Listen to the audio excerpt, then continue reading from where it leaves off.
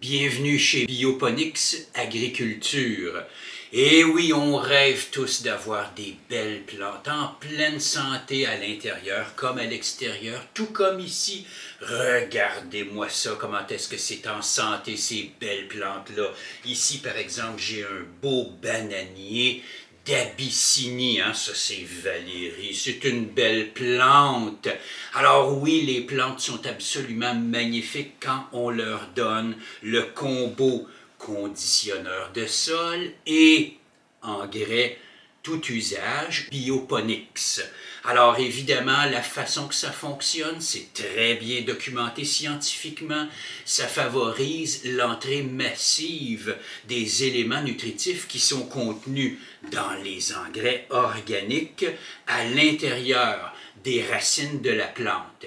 Mais ce n'est pas le seul mode d'action de ce conditionneur de sol-là qui est un probiotique. Hein. C'est un probiotique d'origine microbienne. C'est pas un probiotique d'origine marine, comme l'algue marine, par exemple. C'est beaucoup plus performant que l'algue marine, ça. Parce que les facteurs de croissance et les biostimulants qu'on trouve dans le probiotique microbien Bioponix, mais ça possède également une autre action qui a été très bien documentée, très bien observée. Et on parle ici du réveil des bourgeons dormants qui sont situés dans les plantes tout le long des tiges. Alors regardez par exemple ce spécimen-là ici, cette belle petite plante-là, qui est touffu, qui est solide, qui est compact, qui est branchu et qui n'attend que faire encore plus de tiges, encore plus de branches, encore plus de feuillage et ultimement beaucoup, beaucoup de fleurs. Alors cette plante-là, voyez-vous, bénéficie de l'action du conditionneur de sol Bioponics qui ramifie les tiges en réveillant les bourgeons dormants. Et puis ça, là, c'est une faculté, c'est une possibilité que vous ne trouvez dans aucun engrais biologique ou encore moins chimique. Hein?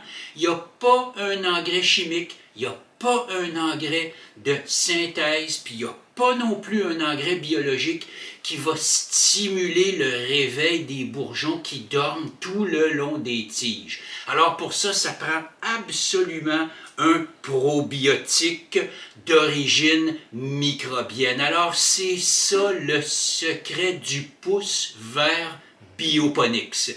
Alors c'est trop bon pour s'en passer. Il faut vraiment pas manquer ça. C'est l'occasion unique de devenir un vrai pouce vert ou une vraie pouce vert également.